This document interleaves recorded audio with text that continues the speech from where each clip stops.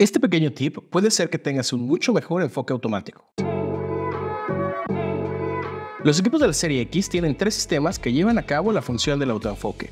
Detección de fase, contraste e inteligencia artificial.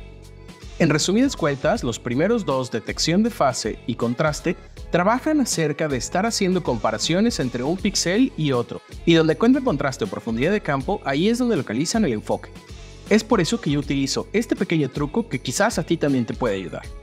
Cuando coloques el cuadro donde quieres hacer el autoenfoque, procura hacerlo en una parte en donde haya contraste o una diferencia de profundidad. Por ejemplo, en una cara, procura tener la mayor parte de esta dentro del cuadro de enfoque.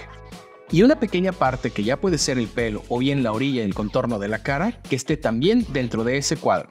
Si quieres enfocar en el ojo, probablemente puedas intentar que una pequeña parte de la ceja esté dentro de este cuadro. O en un paisaje puedes utilizar que el cuadro de enfoque toque alguna parte de la montaña, pero también una pequeña parte del cielo. Esto va a ayudar a tu equipo a encontrar de una manera mucho más rápida el contraste que necesita para encontrar el enfoque.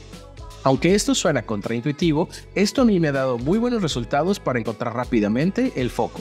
Y si vas a hacer retratos, procura utilizar la función de detección de ojo. Esto hará que la inteligencia artificial haga todo el trabajo de enfoque por ti. Prueba esta técnica, cuéntame en la caja de comentarios cómo te funciona.